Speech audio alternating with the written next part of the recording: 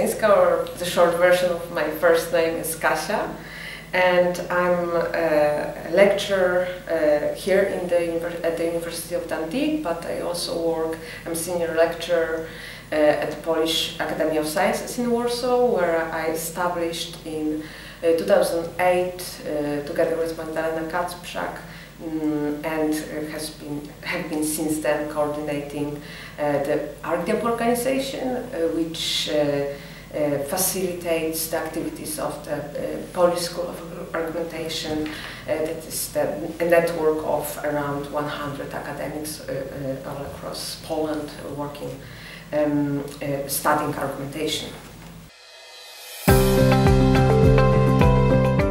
In the center around the team with uh, Rory uh, Duthie, uh, Marcin Koszowy, um, Brian Plüss and Martin Pereira Farinha, uh, that specializes in digital ethos, which is technologies, uh, processing, not only arguments that people formulate and exchange, but also um, how people influence others uh, using their, the character, character. So, for example, uh, people might vote for uh, for politicians not necessarily only because uh, he has a good uh, social or economic policy, but also because he, he, is or seems to be credible or has a strong personality or a successful businessman, for example.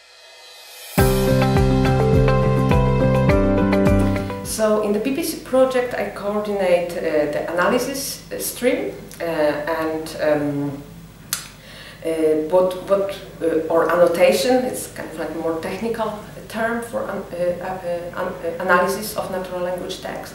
Text, and what we are trying to do, I mean, what we are aiming to do is to uh, uh, produce an input for, for the technology uh, that we are using. so you, you can think about it in this way that clearly the machine, the software, can't interpret natural language text because it's too difficult for, for it. Uh, so what, what we are doing, we are analyzing or interpreting this natural language text and, and then kind of like label uh, the text or and you can think about it encode the text uh, uh, in, in, this analyzing uh, analysis process uh, which which then machine is able to process. So in other words we, we are providing as an argument analysis team we are pro providing input for argument analytics technology Yes, so I guess uh, uh we have two uh, uh, biggest challenges in, in involved in on the analysis side. So first was designing um, annotation process, and second was recruiting and training analysts. So in terms of designing annotation annotation process, what was difficult for us is to um, produce a high quality or maintain high quality of the analysis in the very constrained or very limited, uh, narrow uh, uh, time scales. So just to give you the idea, one hour, or one minute of the of the program uh, uh, requires one hour of annotation. If you are lucky, if you have a good analyst, right? And then on top of it, because of the of, of, of the this, this constraints of, of time uh, and the risk that uh, if we are in the hurry that the quality will be lower, what we introduce the, the additional layer of uh, uh quality assessment, which means that another annotator is looking at the first annotator uh, map and try to check it, double check that it's, it's, it's, it's okay. So we need to add additional hour of annotation for this one minute. So we, if we are talking about more or less 45 minutes, it, uh, it we need nine, around 90 hours of annotation and our slot in 48 hours plan for between receiving a more or less program from BBC and re releasing it on the, the BBC web, uh, I mean argument analytics, on, on the BBC web, web pages, uh, we had eight hour slots for this 90, 90, uh, uh, 90 hours of annotation. So that, that was quite challenging. So we had to develop kind of a multi-layer, complex, co complex process. Uh, so for example, uh, we were able to receive a transcript from a company that was transcribing audio uh, at 3 a.m. Uh, in the night because the person that was responsible for it, for checking it, was in Argentina. So, so, uh, so, so he was he was kind of like was able to to do it uh, in the mid, middle of the day his time, and then he passed it on to the first analyst that was doing analysis between 4 a.m. and 9 a.m. Only because she was in Australia, so again, playing this time time uh, time zone difference was was uh, was quite um, important for us to, to speed up the, process and, and to speed up the process. In terms of the recruiting um, and, and, training analysts, so as I said, I mean, this 90 hours, we realized that uh, we, we don't have uh, enough annotators uh, in, in the center for argument technology that could, could do this task. Uh, so we had we had to recruit, and again we had very narrow time scales. So we uh, we advertised on Monday. We, uh, uh, the registration was on Thursday, and, and then we started training on Monday in week.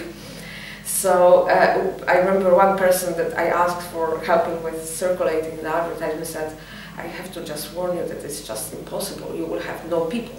Well, I mean, we had almost 70 registrations uh, for, for the information meeting, then uh, 40 people in total took training and 11 people passed, uh, passed the training because we, we kind of like um, decided to, to kind of select only the best people who, who, who, who took the training again for the, to, to ensure high quality. So right now we have uh, our argument analysis uh, team consists of three kind of groups. So uh, uh, people from ARG-tech, uh, which is six experienced annotators that were also tutors at the training, which is um, Rory uh, Duthie, uh, Jacky Visser, Marcin Koszowy, Martin Pereira Farinha, me and Chris Reed. And uh, we have also three people in ARG-tech who joined us more recently last training, which is Alison Pease, Brian Bruce Plüss and you, Dom, De Franco. And then we have uh, uh, uh, very talented students here from, from computing, Javier uh, Ruiz, uh, Theodora Andrea, Rory McGowan, and Nicole uh, Orr. Um, uh, and uh, we have fantastic colleagues all around the world that also joined us. Uh, Mathilde Janier in France, uh, uh, Annette Hautli-Janisz in Germany, Nuria Franco Guillen from Australia, Elena Musi from United States, and Luana Marinho from um, Brazil. So that's us. Well, uh, I mean, it's, it's difficult not to be excited about it. The BBC Moral Maze program is, is, is, absolutely fantastic material for anyone who is studying argumentation and debate. It's full of uh, uh, sophisticated rhetorical strategies, uh, discussing exciting, uh, uh, controversial, highly controversial uh, topics which engages people, participants to, to argue, to, to, and, and exchange arguments very heavily. So it's, it's really, really interesting.